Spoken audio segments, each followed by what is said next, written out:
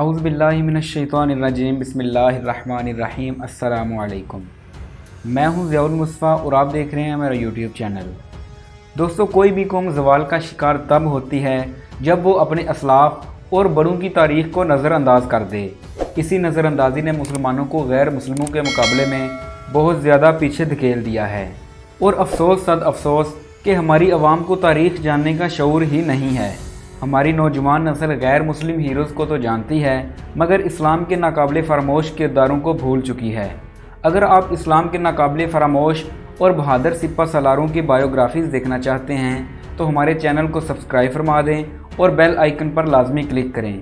दोस्तों, आज हम बात करेंगे जंगी सल्तनत के बानी हुक्मरान सुल्तान इमादुद्दीन जंगी के बारे में। इमादुद्दीन जंगी सलजोकी सल्तनत की तरफ़ से इराक के शहर मोसुल के हाकिम थे। जब सलजोकी सल्तनत कमज़ोर हो गई तो इमादुद्दीन जंगी ने जंगी सल्तनत की बुनियाद रखी और ईसाइयों को शिकस्तों पर शिकस्तें देकर उनकी चार में से एक सलीबी रियासत एडिसा का खात्मा कर दिया, जो सलीबियों ने पहली सलीबी जंग के बाद कायम की थी। दोस्तों, ख़त्म होने वाली पहली सलीबी रियासत का दारुल हुकूमत अलरबा था, जिसे आजकल ओरफा कहा जाता है और ये एशियाई कूचक में वाक़ है।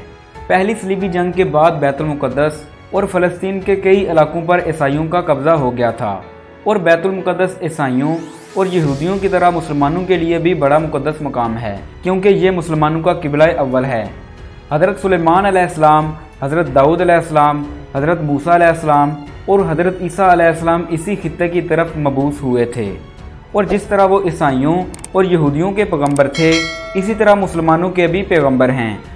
फिर खुद हज़रत मोहम्मद सल्लल्लाहु वसल्लम को जब मेराज हुई तो वो मस्जिद अक्सा ही में ठहरे थे और यहीं से आसमान पर तशरीफ़ ले गए। दोस्तों, इन हालात में मुसलमानों के लिए मुमकिन ना था कि वो फ़लस्तीन पर ईसाइयों का कब्ज़ा खामोशी के साथ गवारा कर लेते और उन्होंने ईसाइयों का मुकाबला करने की कोशिश की। जिन लोगों ने ईसाइयों से मुकाबले में नाम पैदा किया, उनमें पहला मशहूर शख्स इमादुद्दीन जंगी ही था।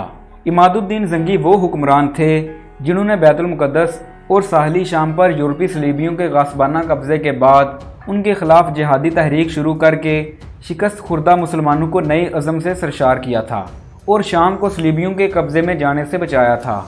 दोस्तों, इमादुद्दीन का ताल्लुक तुर्क कबाइल की शाख आल तुर्गान से था। उस वक़्त फ़लस्तीन, साहली शाम और एशियाई कूचक में चार सलीबी रियासतें कायम थीं। यरूशलम, यानी बैतुलमुक़दस अंताकिया, तराबलुस और एडिसा। इधर मुस्लिम हुक्मरान बाहमी अख्तलाफात और झगड़ों का शिकार थे। शाम कई रियासतों में बटा हुआ था। अगरचे बगदाद में अब्बासी खिलाफत कायम थी, मगर उसकी कमज़ोरी के बायस असल इकतदार सलजोकी सलातीन के हाथ में था। इस सूरत हाल में इमादुद्दीन जंगी के ज़िम्मे ये काम आ पड़ा कि वो जालिम सलीबियों के ख़िलाफ़ उठ खड़े हों। चनाचे उन्होंने एक अजीम मकसद के तहत उमत मुसलमा की क्यादत का बेड़ा उठाया और शाम पर तवज्जो दी। जिस पर कुछ इकतदार के हरीस मुसलमान काबिज थे। और ख़तरा ये था कि सलीबी किसी भी वक्त हलब पर कब्ज़ा न कर लें। चनाचे इमादुद्दीन जंगी ने मौसूल शहर पर अपनी हुक्मरानी के चंद माह बाद हलब शहर का मुहासरा कर लिया, जो कई माह तक जारी रहा। और 1128 में यकम मुहर्रम 522 हिजरी को हलब शहर पर उनका कब्ज़ा हो गया। फिर इमादुद्दीन जंगी ने सरजी और दारा के शहर फतह करके मशहूर किला हसन असारफ सलीबियों के कब्ज़े से आज़ाद करा लिया। दोस्तों, इमादुद्दीन जंगी ने खलीफा मुस्तरशद बिल्ला और सुल्तान मसूद सलजोकी के बामी इख्तलाफात ख़त्म कराने का फरीज़ा भी सर अंजाम दिया। फिर उन्होंने कुर्दों के किले, हमीदिया, हकारिया और किला तो सोर फतह कर लिए। 528 हिजरी में दयार बकर, यानी तुर्की और अलाका जबाल, यानी शुमाल मगरबी ईरान अपनी सल्तनत में शामिल कर लिए। अगले साल उन्होंने शाम के बेशतर इलाकों पर कब्ज़ा कर लिया। और दमिश्क, जो शाम का दिल और सबसे बड़ा शहर था, उस पर भी काबज़ होने की कोशिश की, मगर कामयाबी ना हो सकी। इन फतूहत का मकसद, सलीबियों के ख़िलाफ़ जहाद में मुसलमानों का एक मज़बूत और मुतहदा मुहाज कायम करना था। दोस्तों, इसके बाद इमादुद्दीन जंगी ने एडिसा का रुख किया। जनूबी तुर्की में एडिसा की सलीबी रियासत दस सौ अट्ठानवे में फ्रांसीसी सलीबी सरदार गाडफ्रे ने कायम की थी, जिसने एडिसा में अपने भाई बालडून को हुक्मरान बनाकर अगले साल यलगार करके यरूशलम, यानी बैतुलमुक़दस की बादशाहत हासिल कर ली। सलीबियों ने सिर्फ़ मस्जिद अक्सा के अंदर सत्तर हज़ार के करीब मुसलमान मर्दों, औरत और बच्चों को शहीद कर डाला। इमादुद्दीन जंगी ने अट्ठाईस दिन अडीसा का मुहासरा जारी रखा। इसका किला बहुत मज़बूत था, चनाचे जंगी लश्कर ने मंजनीकों के साथ फसील के बाद हिस्से तोड़ फोड़ दिए। इसके बाद 27 नवंबर 1144 को सलीबियों ने हथियार डाल दिए। और इस सलीबी रियासत का खात्मा हो गया, जिसके जनूब में शाम के इलाके मुस्तकिल ख़तरे में थे और जनूब मशरक में ख़ुद मौसल भी ख़तरे से दो चार रहता था। दोस्तों, अडीसा की अहम फतह से मुसलमानों का एक दफ़ाई इतिहाद कायम हो गया और सलीबी हमलावरों के लिए ये मुमकिन ना रहा कि वो अपनी अस्करी फतवाहत को थोड़ा थोड़ा करके वसअत देते रहें। इसके बाद ग्यारह से ग्यारह तक जारी रहने वाली दूसरी सलीबी जंग को नाकाम बनाने के लिए अमीर इमादुद्दीन जंगी के फर्जंद और जानशीन सुल्तान नूरुद्दीन महमूद जंगी ने कायदाना किरदार अदा किया। ये दो बड़े आज़मों या दो दुनियाओं का टकराव था और सुल्तान नूरुद्दीन जंगी ने पेश कदमी करके आलम इस्लाम के सबक दारखलाफा दमिश को सलीबियों के कब्ज़े में जाने से बचा लिया था।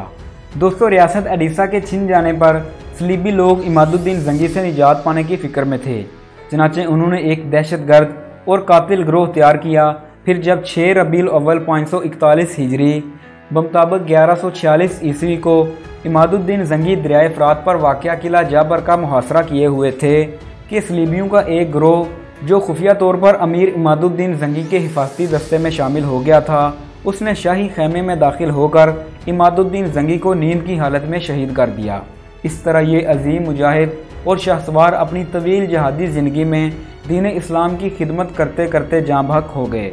जबकि वो अहले इस्लाम की फरामोश करदा जहादी रिवायत को ज़िंदा कर चुके थे और बाद में आने वाले मुजाहिदीन के लिए उन्होंने मज़बूत बुनियादें फ्राहम कर दी थीं। फिर इमादुद्दीन जंगी शहीद का छोड़ा हुआ काम उनके काबिल फ़ख्र जानशीन सुल्तान नूरुद्दीन जंगी ने अंजाम दिया। ये जहादी सिलसिला सुल्तान नूरुद्दीन जंगी तक महदूद नहीं था। सुल्तान नूरुद्दीन जंगी के बाद उनके काबिल फ़ख्र जर्नैल सुल्तान सलाहुद्दीन अयूबी ने उनके जहादी सिलसिला को जारी रखा। सुल्तान इमादुद्दीन जंगी के इंतकाल के बाद उनके बड़े बेटे सैफुद्दीन गाजी इराक के शहर मोसुल, जबकि दूसरे बेटे नूरुद्दीन जंगी हलब के शहर के जानशीन बने।